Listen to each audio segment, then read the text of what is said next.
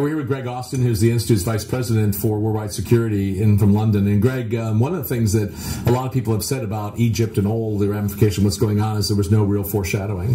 Um, that true? Well, I think that's uh, true in one sense. You never know the moment that this thing is going to blow up. But the long-term trends were pretty clear. As way back as 2002, for example, there were, uh, the Arab Development Report, the first Arab Development Report, commissioned by the UNDP, written by Arab intellectuals. It talked about the deficit of development, the deficit of liberty, and the deficit of learning uh, in the region, and said if these three things are not fixed, then the region was on a downward path. Hmm. And I think that's borne out by events.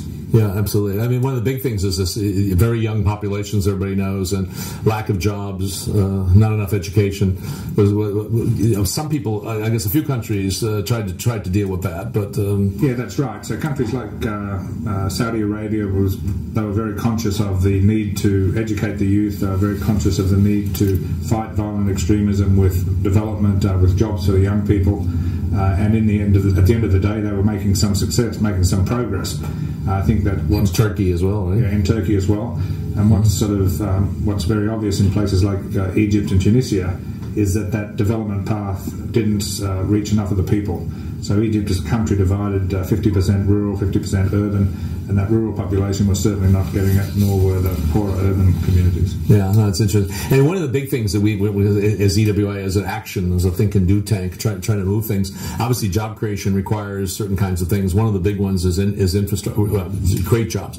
You need infrastructure. And I think one of the things when we talk about gloominess that a lot of people in the West have of what's happening, I think there's really some pretty dramatic things. I mean, one can one can look at this whole belt from the Middle East going all the way across through Asia, uh, and the, the amount of infrastructure going in in terms of roads and, and highways and what oil pipelines, gas pipelines, uh, everything uh, is, is opening up a whole new set of abilities. I remember looking at a, at a map of the United States before 1950 in the internet, interstate highway system in places like Detroit, we're up in the middle of nowhere doing nothing. It wasn't a big, you know, so you have this huge connectivity uh, that, that this allows. And so is, and this is kind of step one of what's happening. What, what else has to happen? Yeah, well, I think you're right, John. And some countries of the region have singled out this infrastructure problem, and quite a few Western companies are involved. What else has to happen um, is one area that I know you're interested in, and that's water development in the region. Mm-hmm. So we know, for example, that the world population is going to um, increase by 50% in the next 30 to 40 years, but the available water resources will remain the same. So we've got to start using water very differently. We've got to put a new price on water. But what's very interesting about the countries of this region is that they're seized with this issue. They're organising themselves and um, even intergovernmental organisations like the Organisation of Islamic Conference are starting to sort of try and find solutions for that. UNDP is active in the region. A new regional economic organisation, well, it's not so new, but becoming better organised and higher profile, the Economic Cooperation Organization, which brings together Turkey, Pakistan, Iran, and several other countries. Mm-hmm. Uh, they're really active in this area.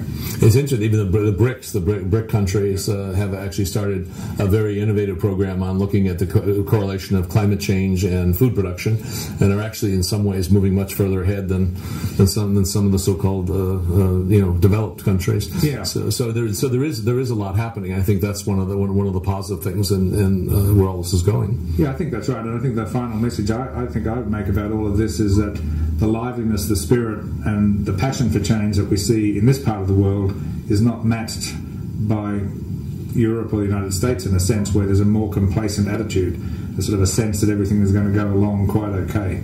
But I think the thing to watch will be the next sort of two to five years, just to see how the global economy unfolds in the face of these developments in a very sensitive, energy-rich area.